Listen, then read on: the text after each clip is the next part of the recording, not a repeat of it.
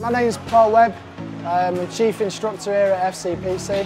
I've been training in Muay Thai now for 26 years.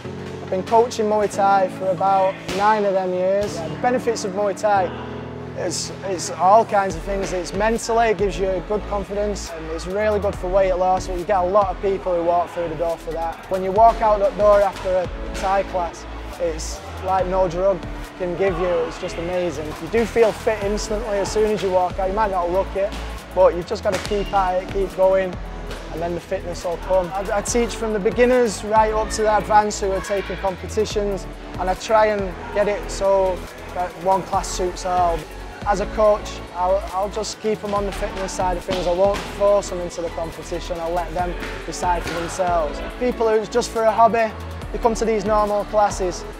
People who want to do it to competition, we have other classes aside from that. I'll come in and do a bit myself with the fighters. We've had British titles, we've had area titles. The lads was out, there was five lads out at week and that's, that's a big fight team to take to a competition. It's like a family. When you, when you come here, it, it just evolves, it's friendship. I think it's all martial arts. It just has like a family atmosphere. You feel like the family. There's no egos whatsoever in a Muay Thai gym. You will not find it.